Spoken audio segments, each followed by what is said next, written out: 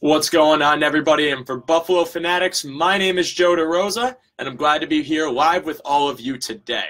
I just want to remind all of you guys that today's episode of The Shout, which is live on Mondays at 1 p.m., is also going to be posted to my Shout Engine page later on in the day, so stay tuned for that. And I'm very excited to have you all with me today because I'm going to be doing a mock draft of my own, which I worked on pretty much during the past week.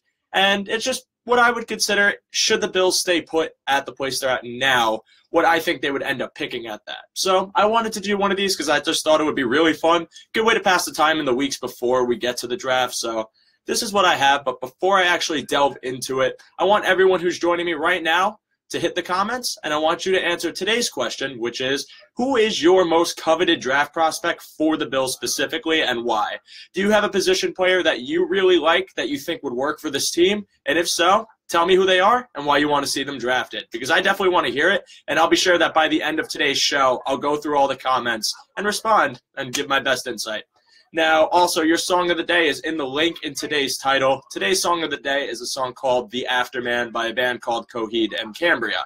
They're a band I love very much. I've been into them heavily over the past couple of months, and I think you guys might like them too. You know, not everyone in here has ever heard of them, I'm sure. So I think it's time that you guys found out some new music, and that's a good song that I think would be fun to show. Now, like I said, today's episode is going to be a mock draft, but before I dive into that, I want to just let people know that this is just my opinion. This is everything that, you know, I would like them to do, people that I would like them to take for positions that I think are necessary for them to fill. You obviously don't have to agree with me, and that's completely fine. I would really encourage it. If you don't, you know, necessarily agree with my opinion on today's show, let me know what you think. But let's just keep it civil discussion because I'm here for a good time, and I'm sure you guys are too. So now, getting into it let's say that in a hypothetical situation, because in a few weeks past I've talked about the team trading up, which is something I would still like them to do, but let's say they decide not to. The team wants to stay with everything they have, all the assets that they've gotten over the past few weeks. The team wants to stay put and does not move at all, and that this would be the draft order that they choose. This is the draft scenario that I did because I figured, you know, instead of worrying about all the different possibilities of trading up, who would they trade for, all of this stuff, I just wanted to keep it to what if they just wanted to stay put. So these are the biggest needs that I think that the team has right now, and that includes quarterback, guard, linebacker, wide receiver, and depth in the secondary at cornerback and safety. Now, I think the the everything in order is more pressing to least pressing. But I think that these positions do need to be addressed in the draft because while free agency did address some of them, we didn't do it enough because, of course, the team was on limited cap space, making it way harder to pursue pursue necessary free agents. So they obviously, if they decide to stay put, have a lot of capital to work with the def signings that they need to make. And these positions, in my opinion, are the most important. So just to remind everyone of what the order this team has, and I had to write it down because it's very hard to memorize all of this, which is a good thing because that means we got a lot of draft capital. They pick number 12, which they got from Cincinnati in the trade for Cordy Glenn, 22, which they got from Kansas City last year, then in the second round, they have the 53rd and the 56th pick, which they got from the LA Rams. They have the 65 pick, which they got from Cleveland, 96 from Philly. And then in the fourth round, they have 121. Fifth, they have 166. And then six from Cincinnati, they got 187. So I see someone hitting all those interesting react buttons. So nice. so this is obviously what we're going to be you know, should they decide not to move, this is what we're working with. And it's a lot, definitely a lot of flexibility and a lot of different positions to choose from. So, based on all of these needs and all of these picks, these were the players that I just thought would work well for Buffalo in an upcoming draft. So, this is just something that I thought would be fun to put together. Wow, someone is going hard with those emojis. So, let's get into the draft. And if the Bills decide to stay put at number 12, this was a hard decision to make because I didn't know if the team was going to, in my opinion, go for quarterback or if they were going to go for a different position of need. But I think at this point in the draft, your most important position to address is quarterback. And at number 12, your options might not be as heavy as they would be higher up. But I think it's the most important position. So I have them taking, drum roll, Lamar Jackson, quarterback from Louisville. And I know that that might not be a popular pick by some people, and that's okay. Obviously, you don't have to agree. But I'm a Lamar Jackson fan, and I think he has a very high ceiling. I love his athleticism. First off, he's not short. I've said this in weeks past. Anyone who thinks he's short is misinformed. But I think he is a good passer. He can throw on the run, and if developed right, he can work on those accuracy issues he has. I know he has some problems putting the ball into tight spaces as well as just the pacing of his throws, but I think that could be developed well in a Brian Daboll offense, which is very simple and very college quarterback friendly. He was just on Alabama last year, working with Jalen Hurts, working with uh, I don't know how to pronounce their backup quarterback's name, but I think Lamar Jackson would be a good fit in the Buffalo offense. He can make plays with his feet, and the difference I see between him and Tyrod Taylor is that Lamar Jackson can step up and be a pure pocket passer if he needs to be. I think he has a lot more time to develop, so should he have issues hitting the middle of the field and hitting tight space, he can work on that in stride in that system. So that's who I would have them taking at 12. Now, this is again not them trading up, so they still have that 22nd pick. So this was a hard decision to make too, because there's a lot of positions of need. Who would be worth taking at 22? But given what I think is more important to address earlier in the draft, I have them at 22nd taking Billy Price, guard from Ohio State. And the reason I have them taking him is because we know that Richie is getting up there in age. He's going to be 35 next year. And obviously, at the older you get, your play is going to start to decline, and we can't rely on Richie Incognito forever. And while we do have John Miller and Dion possibly moving over to, or I'm sorry, while we do have John Miller, he hasn't played in a long time. And in my opinion, he might be rusty and might not have that same showing that he did in his first year. So personally, I would think it would be a good idea for them to draft a brick wall like Billy Price. So that way they have that depth and a nice young player who, when Richie's ready to hang it up, can step in and take over in the line that desperately needs depth. So I originally had them taking a tackle, but I forgot about the Marshall Newhouse signing. I don't know how good he's going to be, but personally, I think it's good enough depth signing where guard is more of a worry now. So that's why I have them taking that. So now we move into the second round. And obviously, I haven't addressed linebacker yet, but I do that here because I think they need a linebacker. And I apologize in advance if I butcher this player's name. Very hard to pronounce, and I'm sure just by me saying that, people might have an idea of who it is. Leighton Vander Esch. I'm not. I'm not sure if I pronounced that right, so I apologize linebacker from Boise State. He's fast, he's physical, and he can cover, and I think he would just be very good in this defense. They need a versatile linebacker, someone who could take the outside, stop the run, but also rush the passer, and I think he does that. I don't really know why they're considering him to be second round because I think he has first round talent based on what I watched of him, and he just seems like a good fit. And I mean, this linebacking class is very deep. So I don't, I'm not worried if this team decides to not go for a Roquan Smith or someone like that. I think Leighton is probably their best bet at this point in the draft if they decide to stay in the second round. So I would really like them to take him, and I think he would work very well in a 4 3 defense. Now, three picks later, they pick again. And another position of need is wide receiver. And I noticed that the team had conversation with Dante Pettis from Washington, so that's who I have them taking. Now, again, there might be some other players that I haven't gotten to or I haven't seen them talk to. But I like Dante Pettis. I think last year he had a lot more concerns with his hands, and people didn't know if he would really step up in his senior year. But I think he'd be a good enough take in the second round, and he'd work well. He's fast, he's reliable, he can get separation, and I think they need that in this offense, especially because really a lot of their receivers, and now that Deonte Thompson's gone, especially, aren't really good at getting separation. I mean, maybe if Zay Jones steps up, you have a good guy in the slot, but Kelvin Benjamin's more of a mismatch type, and I don't really know if he can use his speed. I think they need a speedy deep threat, and I think Pettis could be that for them. Now, we move on to the third round, pick number 65. And for those of you tuning in who haven't gotten the briefing before, again, this is not anything to do with trade ups. This is solely where they are picking now in the draft. As of right now, no changes. So this is what I have mocked. And number 65, I have Rashad Penny from San Diego State.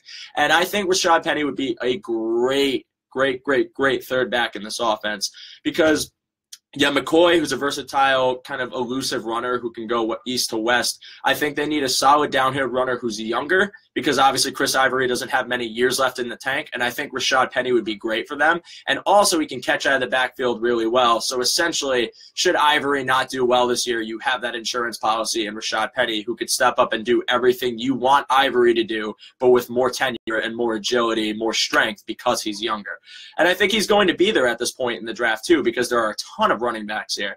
And I was considering waiting in the mock draft, going to fourth round and thinking of taking a Bo Scarborough or someone like that. But I think at this point in the draft, it's necessary to take a young running back. So that's EJ. But my whole thing is we still have no word on Leonard Johnson. I'm not sure what's going on with him personally. And I think that MJ Stewart is a good nickel corner, and I think he would work in the defense really well. So, in the hypothetical that Johnson walks, I think you should bring in MJ Stewart as your new nickel corner, a young guy who can tackle, who's fast, who can cover on the short. Now we move on to the fourth round, and this is their 121st pick. So we need depth at this point. It's obvious that the guys here have more of a shot of just being rotational special teams players. So I didn't really take it too seriously, but I decided to kind of go for some positions of need.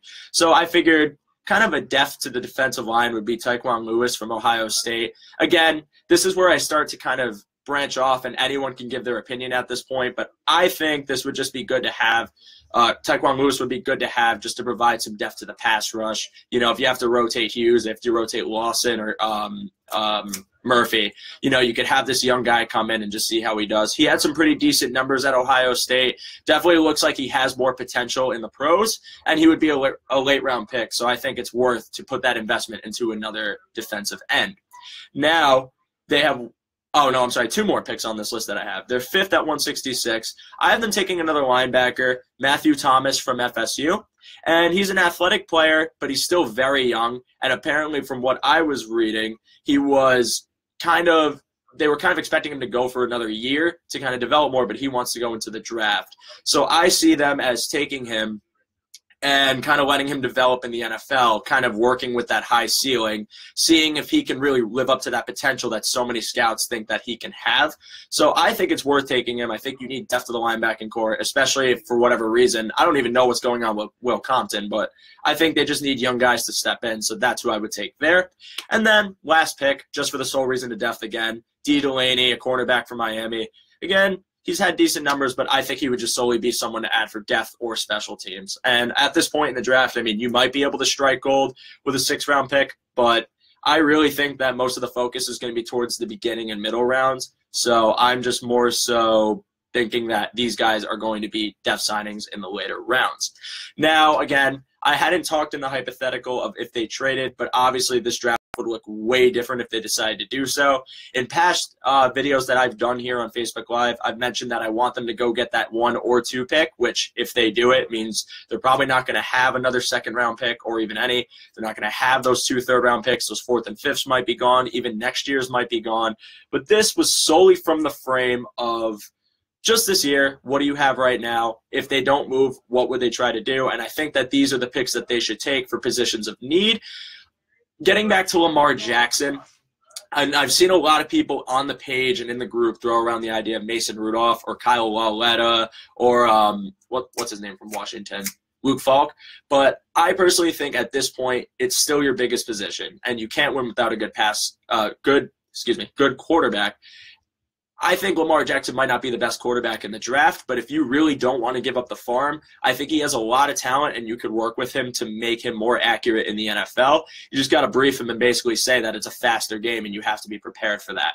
Now, Mason Rudolph, I'm not a big fan of Mason Rudolph. I don't like his game. I think he's a gimmicky quarterback who just won't work in the NFL. I don't think he's that accurate. I think he relies too much on his deep ball, and he doesn't really have midfield accuracy. That's so important in the NFL. And as Bills fans know, Tyrod, that was probably his biggest issue was that he couldn't really hit the middle of the field well unless he was on the run. I'm worried that Mason Rudolph would be more of the same of that, so I'm not really a big fan of him.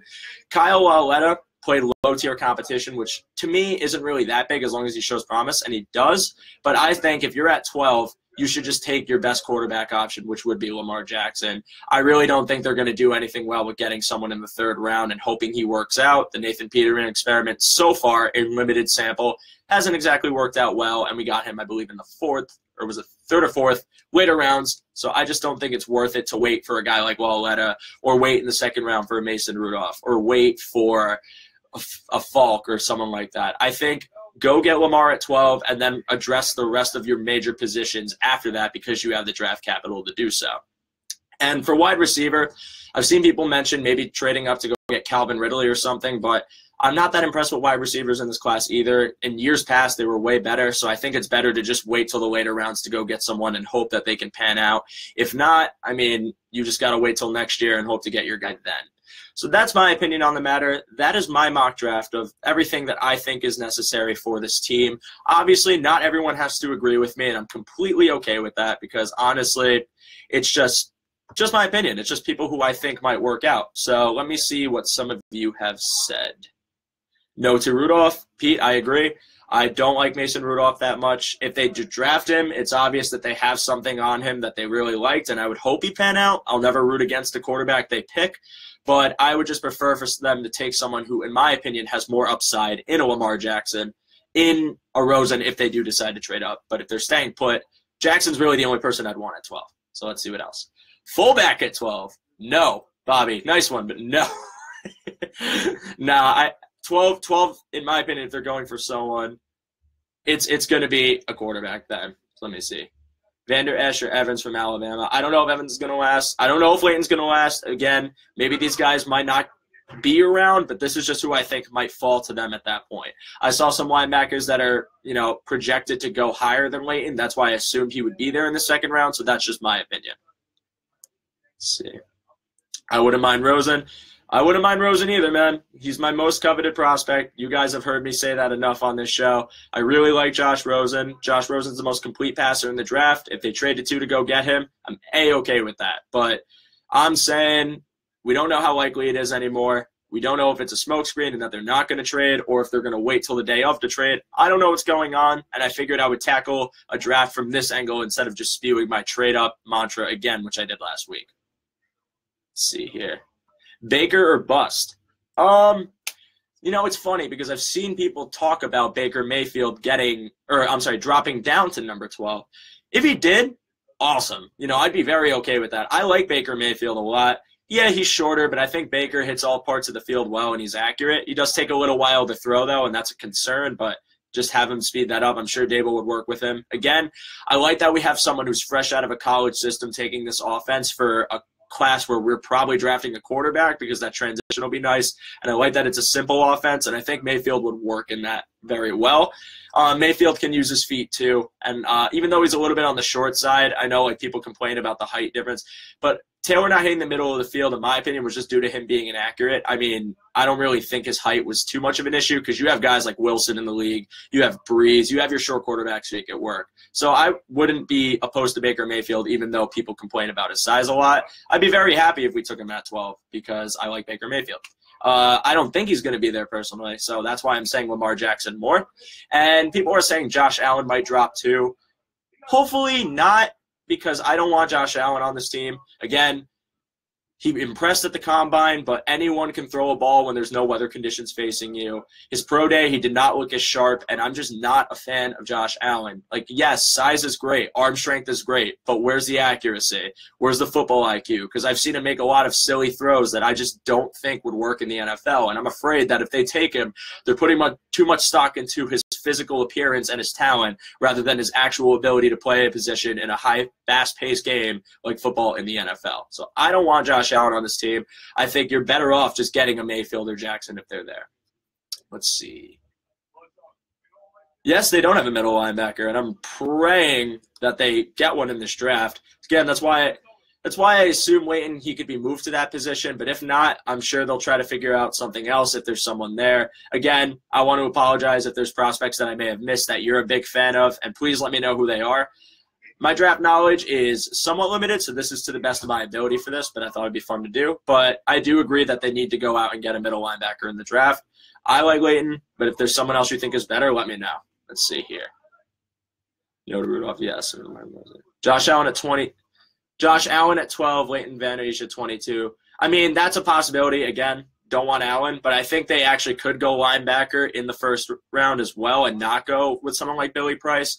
I just say, like, it depends on who's taken, and this is with any hypothetical draft. It's really what's your biggest, most important position and who's the best player available to fill it. And I think if Billy Price is still there at 22, you should go with him. I think that's a no brainer because we need that depth at guard, and he's going to be very good in the NFL. I'm a big fan of him. I've watched his highlight, and he's a stone wall. That man does not let anyone get past him. So I would love Billy Price, and I'm saying that with the impression that Leighton is going to drop to the second round. And if he does, then I think that would be a win kind of like when we thought Shaq Lawson and Reggie Ragland were wins, turned out maybe not. But that's my opinion. Maybe he'll be there at 22. I'm not sure.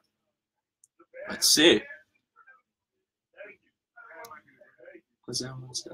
I've heard about Evans from Alabama. I'm never opposed to taking an Alabama defender, but I, I don't think he's going to be there. I think there's other teams with linebacker needs, and they're probably going to take him. I wouldn't be surprised if he goes at like, if they don't take him at 12, if he's still there on the board, I wouldn't be surprised if he goes anywhere from the range of 12 to 22. So I'm not sure.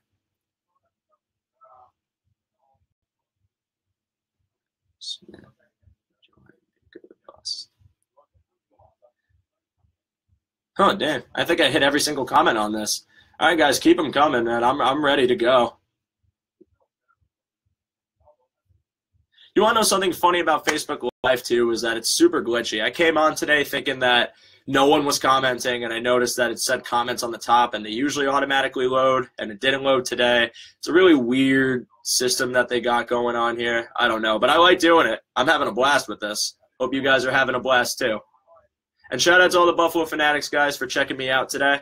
I know it's usually later on, but I hope I'm hope I'm doing a good job for you guys. Let's see here.